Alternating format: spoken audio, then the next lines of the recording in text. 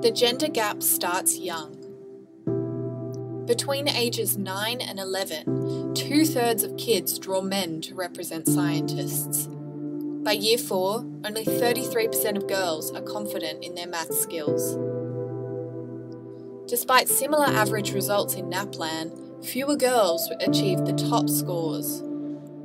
At 15, 33% of girls don't think maths is useful to further study, and 24% don't think maths can help them get a job.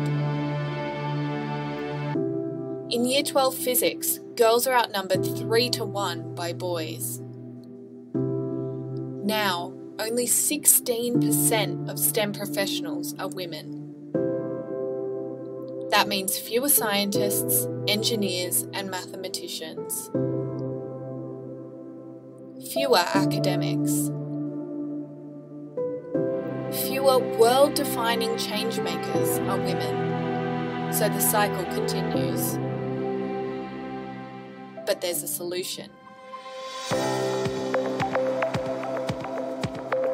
If we can inspire confidence in girls to overcome their obstacles, encourage everyone to think differently about STEM stereotypes, and redefine what the STEM workforce should look like, we'll be recruiting more scientists,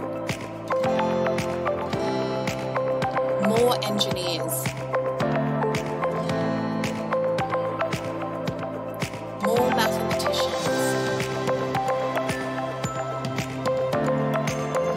more academics,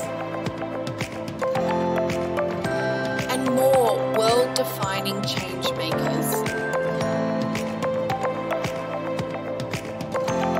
Join the fight against the world's greatest problems and create a more sustainable future for everyone.